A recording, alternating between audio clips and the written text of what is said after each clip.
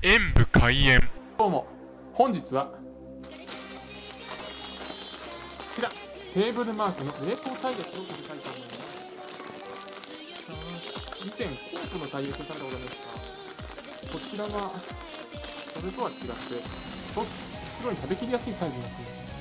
はあやっこれも美味しそうですけどやっぱりカチカチですね。というわけで温めていきますので少々お待ちください。温まりました。